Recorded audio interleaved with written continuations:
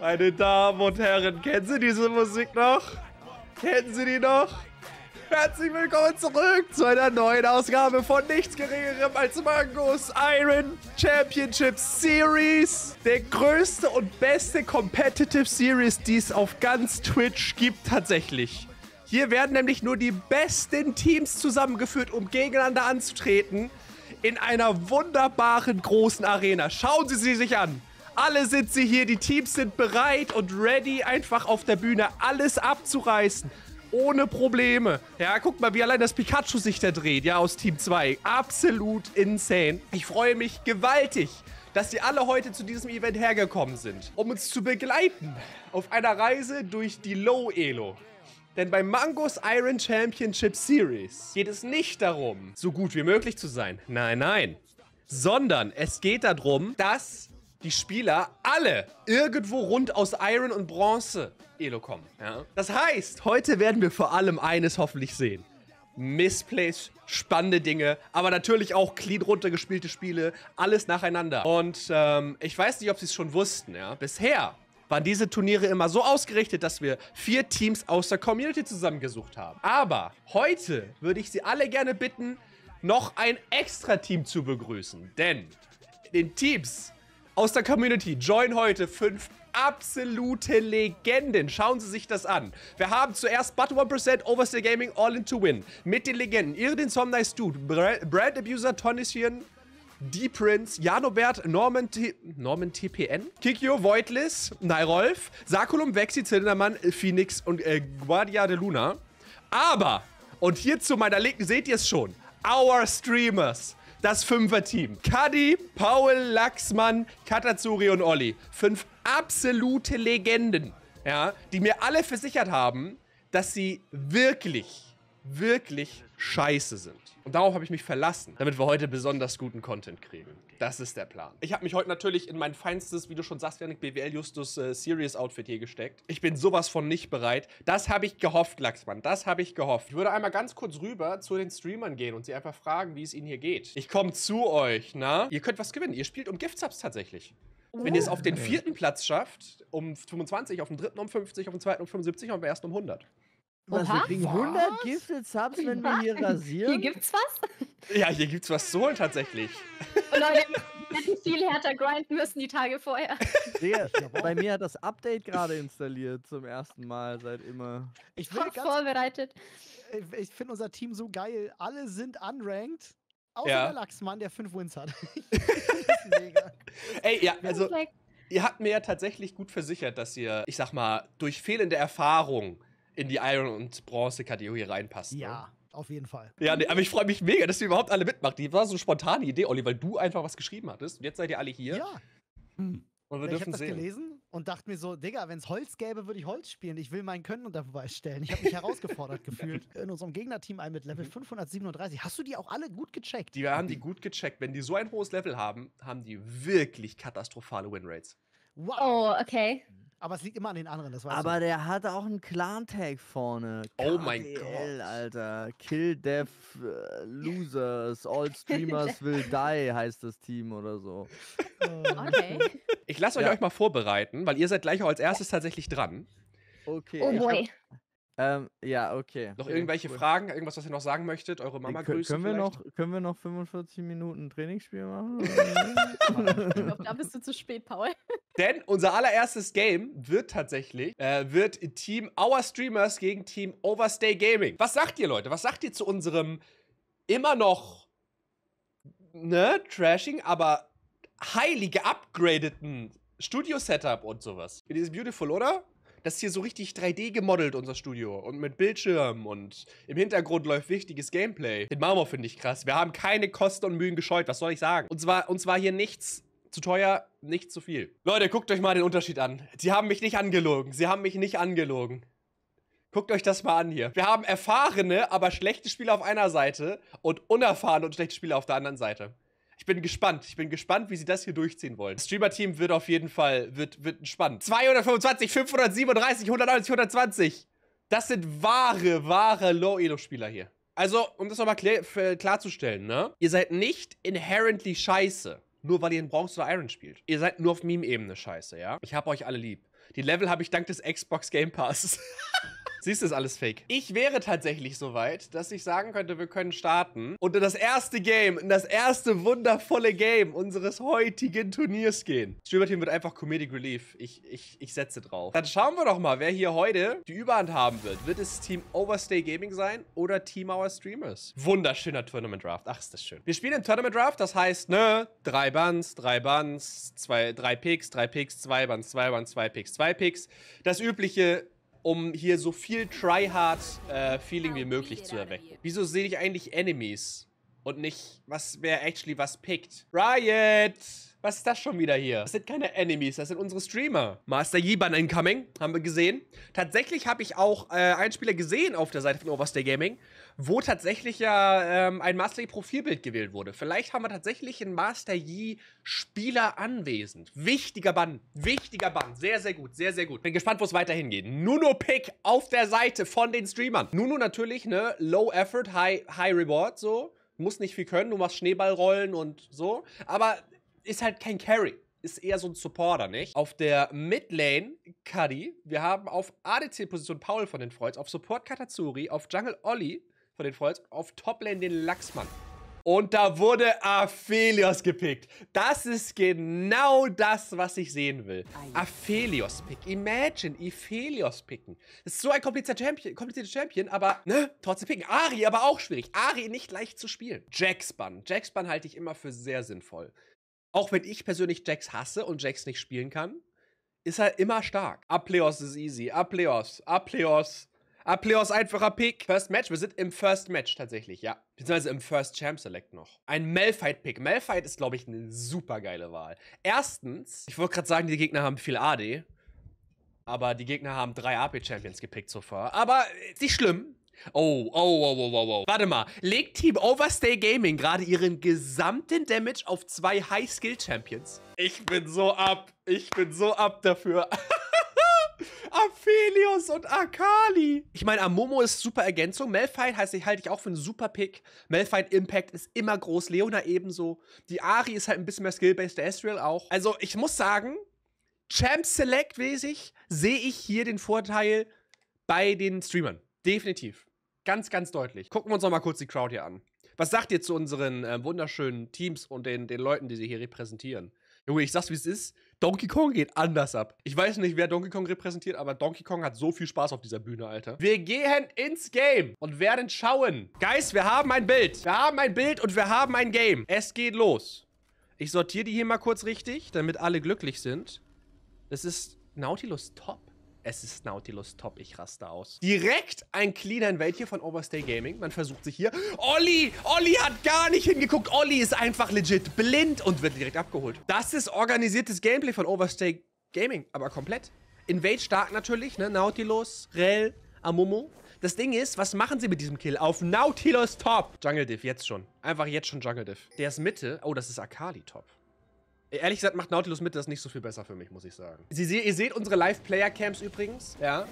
Wir haben sie hier dabei. Unsere Spieler sind höchst konzentriert. Jungle Start hier vom Streamer-Team, schön am Blue Buff. Kein Problem. Toplane würden sich ein bisschen, ne, kleiner Schlagabtausch hier links, rechts, bisschen Messer da. Oh, Botlane wird ein bisschen getradet, beide Level 2. Jetzt versucht man hier direkt auf Katazuri zu gehen. Paul setzt seine Q meilenweit daneben, um auch wirklich Dominanz zu zeigen. Kata hat hier den richtigen Fokus. Kata geht auf den Aphelios. Paul steht hinten und autoteckt den Supporter. An der Stelle call ich ADC-Diff. Ein doch recht großer Goldvorteil auf der Botlane, muss ich sagen. 1 zu 0 für Aphelios. Ja, Paul kann jetzt gerade, glaube ich, erstmal einfach nur farmen. Overstay Gaming geht gerade back. Sie haben es verlassen. Toplane geht ein bisschen was ab anscheinend. Die haben Deep Vision. Die haben Deep Vision an den fucking Crux. Geht's euch gut? Was ist das für ein Tryhard? Oh, aber hier geht jetzt was ab. Hier geht jetzt was ab. Hier geht jetzt mies was ab. Hier wird jetzt gleich sofort... Oh, da wird dann Nunu engage. Kadi kommt direkt dazu. Damage-technisch ist hier definitiv das Streamer-Team da vorne dabei. Der wird ignited leider, aber kann Kadi noch was abholen. Der tickt runter. Ein Kill für Ari ist wichtig. Gutes Ding. Immerhin zurückgetradet. Nehmen wir mit. Nautilus direkt gestorben. Hukasu, du sagst dir gerade im Chat, die müssen den Laut einfach nur tilten, dann ist easy win. Die haben dafür, glaube ich, einen guten Anfang hingelegt. Top Lane ist entspannt. Hier scheint anscheinend bisher niemand so richtig zu wechseln. Ich glaube, Akali braucht Level 6, um den zu fighten. Und solange hier ähm, der Laxmann noch nicht auf mehr Mana sitzt, ist das, glaube ich, alles ein bisschen schwierig. Boah, aber, aber sind sehr, sehr vorsichtig, ne? Super, super vorsichtig. Sehr zurückhaltend. Niemand scheint jetzt hier nach diesem schnellen Anfang irgendwie jetzt zu hart reinkommitten zu wollen. Ja, mit, mit, mit, mit Malphite poken ist halt einfach, ne? Ist free, kann man machen. Ist halt irgendwann um, aber immerhin gehört die Lane so halb, außer mit der Ausnahme, dass der Laxmann 11 CS hat gegenüber Janoberts 31 CS. Aber ist nicht schlimm, sind nur 20 CS Unterschied. Oh, da geht was los. Akali geht rein, hat keinen, auch hat Ignite zur Verfügung. Wird ihn die benutzen? Das sieht schlecht aus. Da wird er drauf... Hast du gerade BM't? Hast du gerade BM? Team Overstay Gaming ist disqualifiziert. Oh! Paul ist da perfekt in den CC reingeet. Kata ist da immer noch ganz tief drin. Da kommt auch der Jungler dazu. Leider noch. Aphelios trifft hier super viel. Kommt Kata da raus? Ist die Tanke genug? Leider nicht. Wird nochmal zurückgeschmissen. Geht sehr, sehr schnell down. Gute Engage hier von Nyrolf an der Stelle. Die spielen aber halt auch miese Meter, ne? Rell ist halt einfach Meter. Das ist oppressive. Das ist einfach stark. Was soll man dagegen machen, ne? 2-0 jetzt auf dem Amomo. Geht der Amomo Tank? Der Amomo geht Tank. Oh, ich sehe immer noch ganz, ganz große Chancen hier einfach beim Streamer-Team, die Carries rausnehmen zu können. Die Akali wird schwierig, die ist halt slippery, aber Aphelios, wenn der Kill kriegt, ist relativ egal, glaube ich. Den können sie rausnehmen. Gerade mit einem Malfight ist das kein Problem. Erster Drache geht auch ans blaue Team jetzt an der Stelle. Erste Platings ebenfalls. Geht also langsam alles ein wenig bergab hier. Es ist sehr, sehr ruhig jetzt geworden. Wir sehen jetzt hier gerade ein bisschen was im River passieren. Da ist Nuno unterwegs, aber hat, glaube ich, auch den Nautilus gespottet und zieht sich dementsprechend erstmal zurück. Damit ist halt Katis Damage im Early schon mal wirklich, also keine Ahnung, schwierig. Oh, da kommt einer Momo-Gang. Sieht Katis das rechtzeitig? Nein! Aber er hat noch keine Ulti zur Verfügung. Das heißt, wahrscheinlich kann er da nichts großartig machen. Flash zur Sicherheit mal raus. Überlebt das auf jeden Fall erstmal. Carry-Hoffnung auf Ari bleibt bestehen. Nautilus macht weiter, äh, Malphite macht weiter Malphite-Sachen. Steine rollen, Damage machen. Boah, Janobert will da oben aber, ne? Ich glaube, Janobert hat richtig Bock. Ja, genau. Q draufgeschmissen, einfach gelaufen. Das ist perfektes Gameplay. Oh, da kommt jetzt ein Level 6 Amumu auf die Lane. Diesmal der Charm aber gehittet. Wichtig an der Stelle, um den Gank hier direkt zu annullieren. Und Olli geht actually AP. Olli geht AP, Nuno. Feier ich. Das ist so gut. Das ist so geil. Imagine eine gute, eine gute AP Nuno Ultimate. Botlane, Botlane, Botlane, was passiert da? Da geht was rein. Da kommt was rein. Das ist auch geht. Da kommt auch die ah, Nuno direkt hinter. Der geht low, der Aphelios. Aber geht er low genug? Erstmal nicht. Und jetzt kommt dann der Momo dazu. Ulte zwei Leute. Aphelios macht massenhaft Damage. Und was erst nach einem guten Gang für die Streamer aussah, entwickelt sich zur absoluten Katastrophe. Das ging so schnell bergab. 200 Gold Shutdown jetzt schon. Und noch mehr Hoffnung liegt dadurch jetzt auf der Ari. Oh, aber hier scheinen gute Teamcoms unterwegs zu sein. Dass die Rell da rotieren kommt, war irgendwie vorausgesehen. Midlane-Gameplay gefällt mir hier bisher sehr gut. Oh mein Gott, okay. Olli hat diesen Botlane-Gang gesehen und dachte sich, weißt du was? Vielleicht ist Tank nur, nur doch die bessere Wahl und geht auf Barbie Cinder und Chain West. AP-Item verkauft, Tank reingeshoppt. Wird fürs Team wahrscheinlich die bessere Wahl sein, aber die Entscheidung hätte vielleicht ein bisschen früher kommen müssen, vermute ich leider. Also wenn es gerade nicht so eine extrem Gangs gibt, spielen auf den Lanes aber alle sehr, sehr vorsichtig, muss ich sagen. Olli farmt hier weiter, die schönen Jungle Camps weg. Mal sehen, wo er als nächstes runterrennen wird wo er als nächstes reinsprintet. Bisher muss ich sagen, hat das Gameplay auch eine recht hohe Qualität. Also ähm, ich sehe jetzt nicht so viele Sachen, die passieren, die einfach äh, straight up sinnfrei sind. Von daher bis jetzt oh, vielleicht den AP-Item Cell, der ist fraglich. Oh, hier passiert was. Da passiert definitiv was. Der Charm landet aber leider ein bisschen zu spät. Ultet raus, kommt rechtzeitig in Sicherheit. Generell gutes Risk-Management einfach von Ari. Was soll man sagen? Boah, die Botlane ist halt so oppressive jetzt, ne? Paolo und Katsuri können hier leider schon fast gar nichts mehr machen. Egal, wie sie sich jetzt hier irgendwie in den Fight stürzen, sie werden vermutlich einfach nur hops genommen. Da wird was geklärt. Die werden auch weggesteached da unten. Der Tower wird nach und nach fallen. Selbst wenn sie da jetzt reingehen, haben sie halt nicht wirklich eine Chance, weil Rell das meiste einfach disturben kann. Auch geht jetzt der Herald anscheinend an Team Overstay Gaming. Man kann nicht wirklich was dagegen machen, weil die drei einfach deutlich zu viel Damage haben momentan. Was man hier jetzt auf der Stream-Team-Seite machen müsste, wäre natürlich irgendwie mal ein paar Picks zu kriegen. Ja? Irgendwann durchzurollen, einfach mal so ein Pick, so pup. Das wäre großartig. Das bräuchte man jetzt hier. Also ich muss ehrlich gesagt sagen, Toplane, Laxmann und äh, Janobert, die haben hier wirklich, die haben so far das entspannteste Gameplay. Ich frage mich, der, der Aphelios ist wirklich cocky gerade, ne? Wie weit der vorsteppt. Ich glaube, wenn man den zu nah unterm Power einmal full kombot, könnte man den töten. Die Frage ist, ob Paul Skillshots trifft. Ich kenne Paul im League-Kontext nicht so gut, deswegen weiß ich nicht, ob er Skillshots treffen kann generell. Oh, das ist ein sehr guter Call. Das ist ein sehr guter Call. Die Rell ist nämlich gerade nicht da, die ist am Barrel. Und der ist exhausted. Das ist guter Damage. Los, Paul, baller drauf. Hol den Shutdown. Der ist drauf. Und ein Kill direkt auf dem Astray gelandet. Richtig schlechtes Play von Overstay Gaming. An der Stelle die Rell zum Drake zu schicken und denken, dass Aphelios da nicht overextended.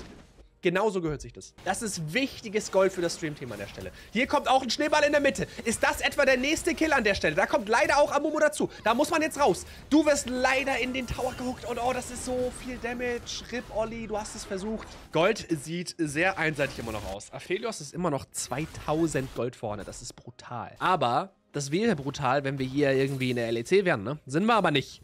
Sind wir nicht. No, no, no. Oh, oh, Paul. Oh, Paul wollte da vielleicht etwas vieles reingeht. Muss sich jetzt hier irgendwie... Oh, oh, aber actually ist nicht Paul, war der Bait. Jetzt sind hier Olli und Katazuri drauf und jetzt muss sie den töten. Das ist jetzt das Problem mit dem Nuno-Range. Nuno hat aber Ult. Der wird draufgeballert und BAM! Kill für Olli. Voidless erneut overstayed. Jetzt kommt die Akali in die Mitte, versucht die mit dem Fancyplay hinterher zu connecten, wird aber einfach straight up ignoriert und Kati kommt raus. Kati kein, doch Ult fast wieder zur Verfügung. Kann man hier vielleicht was fighten? Kann man hier was fighten? Botlane ist safe. Hier passiert noch ein bisschen was. Akali rennt hier noch dem Melfert hinterher. Nee, nee. Ja, das kannst du gerne machen, aber du wirst ihn halt nicht töten. So egal, was du machst. Oh, wait, actually, du machst guten Damage. Heilige Scheiße. Da geht wieder... Oh mein... Okay, weiß ich nicht, Olli. Bin ich ehrlich? Weiß ich nicht, ob der Engages unbedingt war. Oh, das, das ist eine Menge Gold. Den müsst, wenn ihr jetzt Norman hier kriegt, wenn der womöglich sogar auf Kata landet, leider nicht, der kommt raus. Oh, das war so viel Gold, das auf dem liegt. Schade. Also, ähm, Olli ist bisher die Inkonstante im Stream-Team auf jeden Fall. Der hat echt gute Roams, aber er spielt halt irgendwie Nuno und stirbt am Ende manchmal. Das ist, ähm, interessant. Mal sehen, ob er das noch fixt oder ob er dabei bleibt. Wir werden ihn da auf jeden Fall auch nach dem Match einmal kurz interviewen diesbezüglich. Dass Katazuri nicht Katharina spielt, verwirrt dich. Ja, Katharina Support bekanntermaßen auch einer der stärksten Pick, den es, Picks, den es so gibt. Ja, der Junge, der Junge hat, hat, hat Mercs und ein bisschen Mask gerusht, ne? Was sollst du hier machen an der Stelle? Oh, oh, das war alles ein Bait, das war alles ein Bait und versucht hier einen Kill zu holen, aber es ist nicht genug Damage da leider an der Stelle. Kadi muss schon wieder defensiv ulten. Das sah so gut aus mit Malphite, der im Busch saß da. Einfach der Bait, aber leider war der Damage dann doch direkt ein bisschen zu hoch. Oh, jetzt sehen wir ein bisschen Swapperino-Action. Tatsächlich ist jetzt die Botlane auf die Toplane und Akali auf die Botlane, weil sie halt den Turm gekriegt haben. Aber das Stream-Team holt ein wichtiges Objective Bounty. Oh nein, Paul. Oh nein, Paul rettet zwei Gegner rein und Akali schafft es allen Ernstes, das zu verkacken. Nein, schafft sie nicht. Holt den Kill am Ende sehr langsam, aber mit Sicherheit. Jetzt sind hier aber drei vom Stream-Team gegen auch drei vom Team. Olli muss rausflashen, Kanazuri muss wieder rennen, wird wahrscheinlich am Ende abgeholt. Das ist wirklich der Punching Bag. Wann immer jemand rauskommt, bleibt Kanazuri einfach drin. Ist so, ja, okay, komm, nimm mich, nimm mich. Ich, ist okay, ich bin das Freegold. Zweiter Drache, dritter Drache. Geht tatsächlich jetzt hier ins Bauteam. Oh, das ist es. Genau das muss man machen. Wenn er ihn jetzt angreift. Ah, aber der Turm stirbt direkt danach. Wie unlucky. Mit dem Turm-Damage wäre das machbar gewesen, aber ohne den ist Aphelios einfach ein bisschen zu gefeedet. Guter Gedanke, ich hätte es wahrscheinlich genauso gemacht, aber Turm ist ein bisschen zu schnell gestorben. Oh, eine weitere Olli-Aktion. Die Frage ist, wird es diesmal eine gute Olli-Aktion? Absolut nicht. Baum gewinnt gegen Olli. Baum einfach größer. Warum sind das, wann sind das eigentlich Bäume da? Waren das nicht immer Steine früher? Waren das nicht so Wände? Keine Ahnung, fällt mir erstmal aus der Zuschauerperspektive das erste Mal auf irgendwie. So, Paul. Oh, oh, ich habe ihn schon sterben sehen. Ich habe ihn sterben sehen. Aber Kikyo wieder huckt einfach komplett in Minion rein.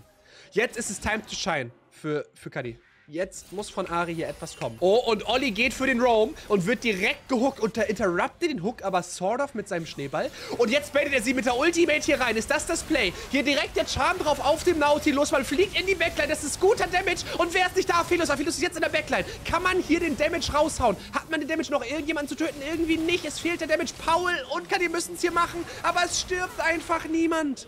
Rel wird abgeholt, aber dann wird das Stream-Team geaced. Da fehlt einfach ein bisschen Damage. Aphelios war erst im Fight nicht dabei, aber es reichte leider trotzdem. Ja, und das wird jetzt vermutlich in einem Baron für Team Overstay Gaming enden. So, jetzt ist die Frage. Komm, pa ah, Paul hat keine Ulti. Ah, es wäre so witzig. Imagine Paul jetzt Spawn, Ulti und einfach Baron Steal. Das wäre das Play des Jahrhunderts. Was macht Voidless da? Der guckt einfach zu. Fühlt sich an wie Gold als Iron. Das ist, das, das ist der Zauber von Teamplay. Also tatsächlich, alle Community-Teams sitzen seit Tagen im Discord zusammen, bereiten sich vor, haben Comps zusammengebaut, haben Tierlisten für sich gebaut, was sie wann, wo, wie spielen. Und sie reden miteinander. Das ist das, was in Solo-Queue einfach fehlt. Der Mitte Tier 2 soll jetzt hier als nächstes leiden. Und es fällt dem Streamteam so schwierig, hier irgendwie was dagegen zu machen. Midlane-Turm, gestorben. Paul auch fast gestorben. Oh, ein schöner Charm hier auf der Akali. Das ist großartig. Bei der Ulti weiß ich nicht so, Cutter. Die war spannend. Oh, Paul überlebt das mit hier ganz knapp, Alter. Was macht Voidless hier für Dinge? Der Junge macht so viel Damage, das ist insane. Aber sie machen weiter. Sie kennen nichts. Es wird weiter gesiegt. Ein Hook auf der Leona. Das könnte eine ziemlich schlechte Entscheidung sein. Kikyo hier direkt unter Druck. Jetzt kommt hier aber tatsächlich der Mummold rein. Unfassbar viel Damage von der Mummold. Der Tower steht aber. Der Tower steht immer noch. Sie können ihn nicht mehr machen. Overstay Gaming am Overstay und ein bisschen low. Aber das hat man tatsächlich jetzt auch direkt gemerkt und zieht sich zurück. Amomo bleibt noch da aus irgendeinem Grund. Guter Charm. Da jetzt Follow-up-CC drauf wäre natürlich das Play. Und jetzt wird zur Top-Lane rotiert. Mhm. Smartes Play, smartes Play. Oh, da kommt der Schneeball. Wird der Schneeball landen? Das ist eine schöne Engage-Ulti vom Lachsmann. Gute Ulti oben drauf. Der Fokus ist aber nicht auf Aphelios. Auf allem außer auf Aphelios. Und oh mein Gott, was war das? Excuse me? Wo war, also, das war viel Damage, my friends. Also, ich meine, klar, dieses Team ist unfassbar ahead.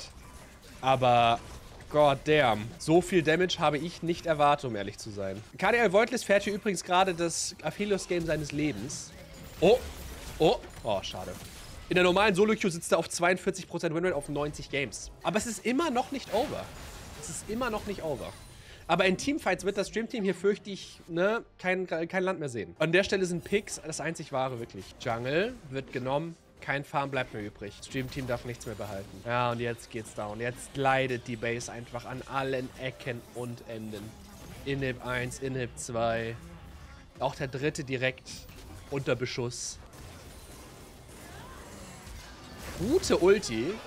Die Frage ist, kann man jetzt irgendwie den Aphelios rausnehmen? Aphelios ist tatsächlich im Fokus. Guter Charme, Aphelios ist tot. Guter Shutdown. Das Problem ist, der Rest des Teams ist auch noch da. Kann, kann jetzt hier irgendwie den Unterschied machen. Dasht nochmal raus, dasht in den Fountain in Sicherheit. Wird aber jetzt nochmal was abkriegen hier. Da ist wieder ein Shutdown. Kann ich auch den nächsten Kill? Ist das hier die... Kann man es hier verteidigen? Aus dem Fountain unwahrscheinlich. Es ist einfach schwer gegen so viele Minions und noch drei Gegner. Der nächste Charm sitzt. Kati ist der Leistungsträger in diesem Team. Eindeutig zwei Ultis fängt sie sich und trotzdem noch am Leben. Es ist aber einfach schwierig, hier noch etwas großartig zu machen. Da ist der nächste Tod, weil es wieder in Fountain gecharmt wird. Aber die Minions, sie gewinnen das Game für das Team Overstay Gaming. GG. Also, man kann hier zwar argumentieren, dass wir hier über, ne? Über einseitige Verhältnisse geredet haben. Aber ehrlich gesagt hatte dieser Philus immer das Game seines Lebens und das war einfach bis zum Ende ein spannendes Ding. Ein super, super spannendes Ding. Es war damage-technisch ein bisschen lastig Richtung Team Overstay Gaming. Das kann man durchaus argumentieren. Das hat mir sehr viel Spaß gemacht, das anzugucken. Warte mal, wir gehen hier mal ganz kurz rüber in vielleicht ein kurze, in eine kurze Interviewphase. Ja. Mhm. Freunde, Richtig. hallo. Ja. ja. Hi. Hi. Das Hi. waren ein paar spannende Plays, Alter. Also auch innerhalb des Teams. Ambivalent unterwegs. Ja, der, also die Not, Not, macht erfinderisch, ne? Ähm, kannst du uns deinen Play erläutern, wo du Minute 10 beschlossen hast, dass AP Nunu es doch nicht ist? Ja, ja, pass auf, kann ich dir erläutern? Ähm, äh, äh ich hätte nie, ich wollte eigentlich gar nicht Nulu spielen. Ja. Aber das gegnerische Team hat halt äh, vorab äh, die Hausaufgaben gemacht und ja. geguckt, wen wir spielen und hat natürlich auch direkt alles weggebannt, was wir spielen. ähm, schade, den Vorteil hatten wir natürlich auf unserer Seite leider nicht äh, gucken zu können, aber hm. dementsprechend, glaube ich, wurde dieses oh. Match gerade in der Pick- und Bann-Phase entschieden. Hm, okay, ja, nee, okay, das ist ein, äh, das ist ein Fair Point. Ähm, dass ihr da, also ich hätte, ich hätte euch die, die, die, die Teamnamen vielleicht nochmal geben sollen, ne? Das wäre ja. ihr, Oder ihr habt sie in der, in der, in der, in der Gruppenphase ja. zumindest gehabt hättet. Ich, also für die, für die nächste Runde kriegen wir das hin. Aber wir sind dann, auf der, auf der anderen Seite, wir sind ja auch Streamer. Das mhm. bedeutet ja, wir sind ja automatisch auch besser. Dann ist das vielleicht auch einfach der Vorteil, den ist, die anderen ja. Leute brauchen. Ja, okay. Mhm. Der Moment, ich dachte, als Streamer ist man immer automatisch schlechter. Na, nein, Paul. Nein, nein. Nein. Noch nicht bei Dr. Freud, ich bitte Ja. euch. Also Der äh, Gaming tatsächlich, macht auch einen Unterschied. um dir deine Frage zu beantworten, ähm, ich habe erst geguckt, was der Chat schreibt, weil ich hatte meine Item-Page, ich hatte eigentlich eine für meinen für mein Second Pick vorbereitet, die war aber Aha. weg. Die ist Oh. einfach weg gewesen. Dann dachte ich so, fuck, was baue ich denn jetzt? Entschuldigung, ich habe ge, ich hab Das ist in. Ordnung. Ähm, und äh, dann sagte der Chat, er macht AP. Und dann bin ich aber zwischenzeitlich noch auf eine Seite und habe geguckt und dann habe ich gesagt, so, okay, da steht gar nichts mit AP, die trollen mich hart und dann habe ich halt umgebaut. So kam das zustande. Habt ihr das gehört? Der Chat ist schuld. Ja, aber ich fand schuld. auch deine Ansage am Ende fand ich auch wichtig. Also es stimmt Mhm. auch, äh, weil du gesagt hast, die Minions machen das Game. Es waren die Minions, Mhm. die, ähm, also deren Minions waren einfach irgendwie stärker. Unsere waren schwach. Ja, ist so. Hm. Ja, ja, Ja. ja, ja, ja. Ja, ist hart, ist hart gewesen. Junge, aber, Also, aber, Kadi, du warst ja absolutes Escape-Monster da auf der Midlane, Ja, dass Mann. du alles ent entkommen Ja. bist, ey. Kadi hat auch eine positive KDR. Ja, das Aber es stimmt. ist eigentlich kein gutes Zeichen für mein Team, wenn ich die Beste im Team bin. Das ist dann, dann sind wir zum Scheitern verurteilt. Das gut, Ah, habe ich mal überhört. Okay, ich, ich lasse euch. Wir werden jetzt ein anderes Spiel haben und danach seid ihr im Spiel um Platz 3 dran, ne? Ach so, das heißt, wir sind jetzt schon, wir haben jetzt Pause. Ihr könnt ein Game trainieren, Paul. Ja, Wir können das trainieren. Oder wollen wir Adam spielen? Ja, ich sehe uns bei einem Aram. Uh, Warum Aram? einem Das macht Aram. überhaupt gar keinen Sinn. Na, aber sowas. Danke, Paul. oh, Paul. Ja, ach, wundervoll. Wel- Welche Gewinne gibt es für Platz 3? Ähm, für Platz 75.000 Subs drei. von Mango. 75.000 Ja, hab bei ich auch 100 so gehört. Subgifts tatsächlich.